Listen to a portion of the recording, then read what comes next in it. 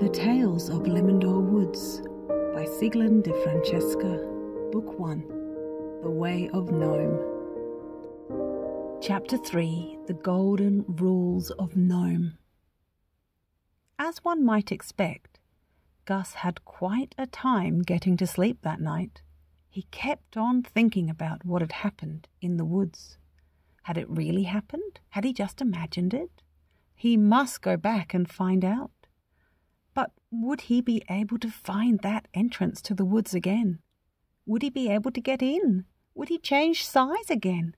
Would he find Mossy and Meese? Were there really other gnomes in the woods? Over and over he asked those questions until at last he drifted off, imagining that he was walking next to a silky field mouse the size of a dog. The next morning, Gus awoke out of a most amazing dream. He had dreamed that he was a gnome and that he lived deep in a forest in a house in the trunk of a tree. Wait, he thought to himself, that wasn't a dream. There is a gnome in the forest, and I saw him. I must get back to those woods right away. Gus jumped up, ate his breakfast, and finished his chores in no time. His papa was already at work when Gus lovingly ruffled his baby sister's curls and kissed his mother goodbye. He told her that he was going into the woods and he would probably be gone much of the day. Quickly, Gus made his way across the stream, through the gate, and along the path that wound to the west side of Apple Tree Hill. He walked slowly and crouched down to look for the opening in the underbrush, almost passing it. It was hard to believe he had fit through such a small opening. But this must be the place, Gus thought as he crept on his knees and entered into the dark tunnel of bracken. Just as before, he found himself in the shaded undergrowth. Leaves, vines, and fern fronds swept across his face and back as he crawled deeper into the woods. Soon the thick foliage cleared, the sun freckled down through a tree's high branches, and he was surprised to see an enormous snail, one big enough to ride on, slowly creep by. Gus had returned. Just as with the day before, Gus saw Mossy and Meese on the path.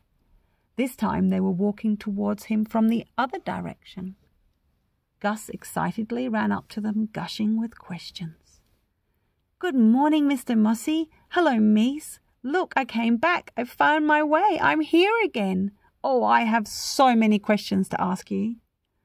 Mossy, where did you come from? I mean, originally. Have you always been here? You said there are other gnomes in the woods. How many are there? Can I meet them? And please, please, will you tell me how to get to the mountain that I saw?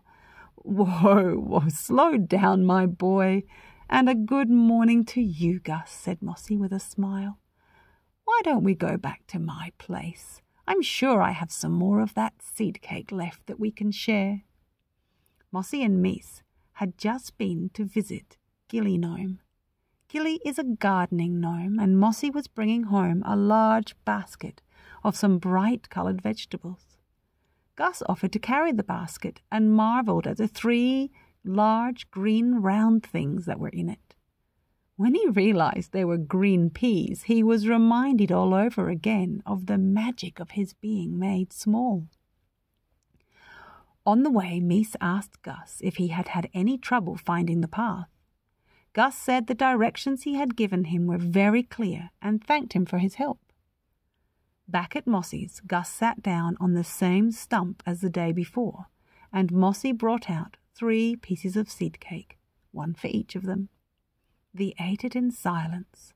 Although Gus was simply bursting to get some answers, he somehow began to sense that one could not, should not, ever rush a gnome with questions, as he had done. Gus, said Mossy finally, brushing cake crumbs from his beard, you asked me a lot of questions a while ago. I will answer some now. Some of them will have to wait. Yes, Mr. Mossy, I understand, said Gus, who was shifted to sit on the soft moss. Yes, Mr. Mossy, I understand, said Gus, who shifted to sit on the soft moss, anticipating a good story. Let me see. Am I right to guess that you have never met a gnome before, Gus? No, sir. I mean, yes, sir, I have not. Well, neither have I met a tall one. That is. Now, I shall tell you my story.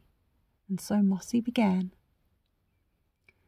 Long ago, I lived in a Donsy village, far, far from here. My people were good, gentle gnomes, and all followed the way. Gnomes always make a point of teaching their children the way. Um, excuse me, Mr. Mossy, but what is the way you are talking about? I've never heard of that before, asked Gus, rather politely for one so anxious to hear everything. Ah, that's right. A tall one would not know about these things. Well, all respectable gnomes are brought up from an early age, lovingly and carefully, and learn a code of good conduct. This is called the Way, or the Golden Rules of Gnome. It is the only way for a gnome to become a gnome. With the gnome's golden rules as a guide, any gnome who goes out into the world will be recognized as a true, gentle gnome and will be valued as a good friend. The basic tenets of the gnome's golden rule are, he said, counting on his fingers, 1. To be kind, always. 2. To tell the truth, always and if you find that you can't, it is better to say nothing. 3. To be generous. That is, we always offer a gift when we meet someone. If one doesn't have a gift, then one sings a song, tells a story, or finds some other creative way to give, even if it is just a heartfelt smile. Oh, interrupted Gus, that is why you gave me the yummy seed cake, isn't it? Mossy nodded, smiling, as he continued. 4. Keep yourself tidy as best you can. It is a matter of keeping things clean and in order. And 5. Celebrate every day in some way, even if you are by yourself, for each day is a wonder.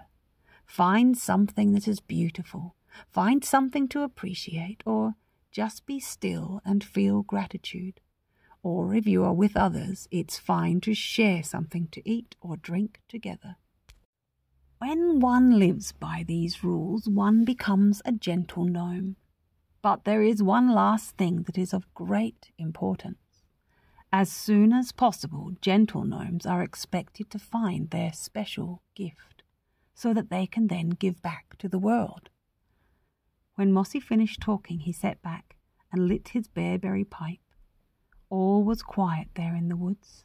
Mees was asleep, and Gus sat silently, counting off on his fingers just as Mossy had done. After some moments he looked up at Mossy and said, I think I can remember the rules, Mossy. The first was to be kind, then to tell the truth always, then to give gifts, to be generous, Mossy corrected him. Oh, yes, to be generous, then to be tidy, he said disconcertedly, looking down at his dirty hands. A little dirt on your hands is not as bad as living in clutter and having cluttered thoughts, offered Mossy when he saw Gus's expression. Gus considered that for a moment. When he thought he understood what Mossy said, he continued. Let's see, there was another rule. Party, that's it. No, celebrate. Always celebrate. I like that one. But what was that last thing you said, Mossy? I didn't really understand the last one.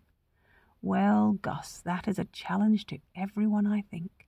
It's not one of the five rules of Gnome, yet it is one of the most important things we ever have to work out. It is to find your gift. That means your talent, the work that you are to do in your life. And then, of course, if you have a gift, then you rejoice in giving it away. Do you know what your gift is, Mossy? Mossy looked down at him, smiling, as he squinted through a curl of woodsy smoke and nodded slowly. Mossy had been thinking. He had been reflecting on how much he was enjoying the company of this curious, inquisitive boy, this fledgling tall one. For other than the mice in his life, Mossy had always been something of a loner. But Mossy was beginning to sense that his life was about to change. Well, now, I believe that I have a glimpse of what my gift is, Gus. I believe I do, he said at last. but he said no more about that, and was quiet for a time.